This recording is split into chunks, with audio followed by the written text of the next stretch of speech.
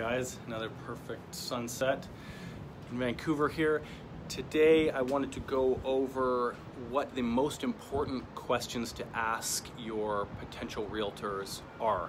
So if you're interviewing realtors, what the most important questions you should be asking them uh, in the interview process when they're doing their listing presentation. So to start, obviously for most people, selling their principal residence or investment property is the most expensive asset they own. So it's extremely important that you bring someone on board to assist you in selling this asset uh, that you trust and that you believe obviously is going to do the best job for you. So this uh, little post is going to go a little bit more in depth into the specific questions. I've, I've touched on the general uh, searching for a realtor topic before, but this one goes a bit further into depth on the actual questions I think you should be asking. Always remember there's no such thing as a stupid question and when you're going through these processes, I mean, you, at some point you're going to be a first time seller and at some point you're going to be a fifth time seller and you're always going to learn something through each step. So it's always very important to uh, interview interview your agents and have the right things to ask. So the first, uh, the first uh, question here is, should I interview multiple agents? I think the answer to this is definitely yes. Uh, even if you've got an agent that you've worked with in the past, that you're comfortable with, that uh, you think would work well again for you, I always suggest at least interviewing two or three, similar to a mortgage broker. Uh, interview two or three of them to get an idea on what they can do for you. Every agent's gonna have their own marketing plan and what has worked for them in the past and every agent obviously is, is different and unique in uh, comes to their personalities and some you're going to fit better with than others. If you've got someone that you have worked with in the past that's obviously great that you trust and have a good rapport with but i still don't think it would hurt to uh, interview a couple people and worst case scenario you uh, find someone better that you like and you join uh, join forces with a new agent that you haven't worked with before, and best case scenario, it solidifies for you that the agent you have worked with in the past is the best option for you, and maybe you picked up a few other marketing ideas or tips or something that the other agents put on the table that they say they do that your agent doesn't, that you can relay the information to assist uh, your agent in getting your place sold for top dollar and the best terms. So the answer to that question is definitely yes. I suggest you interview uh, multiple agents. Uh, I'm just running through them here. The next is professional or personal. Uh, this is always a, a blend of uh, your opinion of their professional capabilities and their personal uh, reflection to you, their personality, how you feel you're going to be able to work closely with this agent. Um, again, some people may look for 50-50. I like their marketing plan and I really like them.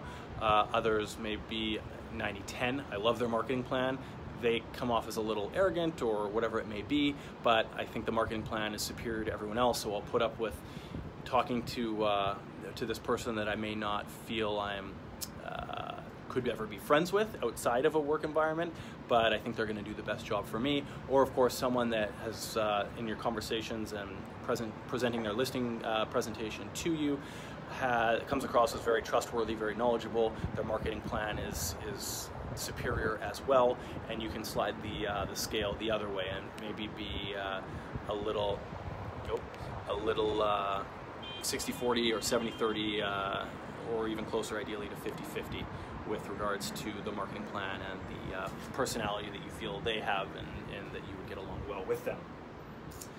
Uh, next, I've got actually, come down here and actually read these. I've got some actual questions here. This is going to be about a minute.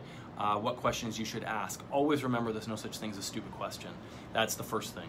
Uh, you're in a process here. The process can be a very stressful one at times, not just picking what agent you're going to work with, but uh, the actual selling process. So you've got that. And additionally, uh, selling a home obviously isn't cheap. So you really want to make sure when you're doing your pre-qualification of these agents that you are asking the right questions. So here are some that I think are great and will really get to the point. I'm just gonna list them off here. Uh, asking the agent how long they've been an agent for, getting into how much experience they actually have. Obviously, in Vancouver, there's 14,500 of us. Uh, yes, we're all licensed as realtors, but clearly there's a huge scale of, uh, of experience uh, from between all of us.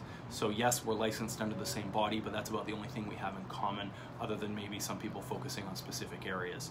So how long they've been a realtor for and what their experience has been to date uh, is, I think, a very valid point. Um, uh, how many properties have they sold in the last year or month to get an idea of how active they are and more so how active they may be in your product type or area, which we'll touch on shortly. Uh, how many listings do they currently have? Uh, and do they realistically believe they can give you their full attention. So this is, again, how many listings they currently have isn't really a gauge of uh, how they're going to be good or bad because they may have one or 10 listings. It's a matter of how much time are they realistically going to be able to afford to you amongst their other listings and, uh, and give you the, the time and quality of service that you're wanting when paying someone this much money to represent your, your property for sale. Um, does your prospective realtor work alone? Do they have assistants, a team? Uh, this is, everyone obviously can choose to do their own level of, uh, of, of, teamwork and collaboration out there. For example, there's two of us on, on my team, and uh, some teams have more, some are of course single agents. So it really depends. The main thing behind this question is who are you going to be dealing with? You're dealing with the listing aid, the lead agent, uh, and the presentation. Are you not going to hear from that lead agent until there's an offer? Or are they going to be giving you the updates? Or is an assistant going to be giving you updates? All these sorts of things. Getting to the bottom line of who's exactly going to be communicating and clarifying that channel of communication so you know what to expect moving forward uh, if you choose to work with that agent. Uh, does a realtor uh, you're interviewing specializes in houses or condos, obviously very different strata and detached houses. Um, does the agent do both? Do they specialize in one? Uh, have they sold in your neighborhood before? Are they familiar with the amenities uh, that obviously potential buyers are going to be seeking information on? Uh, have they sold specific type of property before? Condo, uh, house, leasehold, co-op, uh, freehold, all these things. Have they sold? Are they familiar with selling your type of product? Which is also very important obviously anyone can allow, can uh, educate themselves on the product, but it, the more integral knowledge they have on it, obviously the the better they will be to uh, be in a position to sell that product. Um, uh, when was the last time uh, their negotiation skills really pulled through for a client as for specific circumstances? When did you feel you performed the best and really shine for your clients? Uh, have they typically how do they typically market and why? What sort of marketing do you do? Why do you do that? Have you had success in that? Have you uh, sold places specifically because of this marketing that you're doing? What sort of publications or platforms do they advertise on and why? Uh, have they ever been fired from a client before? Why have they, if, if, if that's the case? Uh, have they ever fired a client before? Why have they, if that's the case? Uh, how much do they charge? How much do they spend on marketing? So these are a few of the main things that I think are worthwhile asking for sure. And finally, how do you tell if they're right for you? You're really gonna be able to justify what they're doing for marketing and the fit that they have uh, personally for you, and you're gonna feel comfortable working with that person and you're gonna be understanding of the marketing plan and believe in the marketing plan that they're gonna use. That's it for me. If you got any questions on this, jay at mcinnesmarketing.com.